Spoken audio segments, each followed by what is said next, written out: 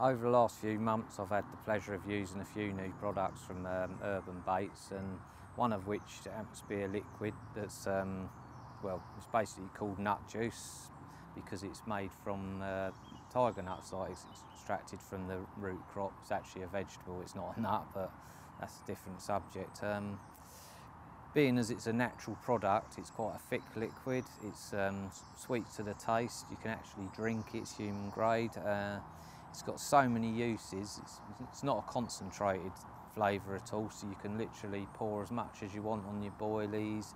You can add it to some of the other liquids in the range, like the liver liquid or a little bit of nutcracker flavour or something, make up a hook bait dip. You can, uh, one of the things I do like doing with it is adding it to a bucket of particles, you know, it's just in sort of where you used to you know put condensed milk on your particles to thicken it up, make it cloudy. Put some of this in it has the same effect. Obviously, it's really sweet.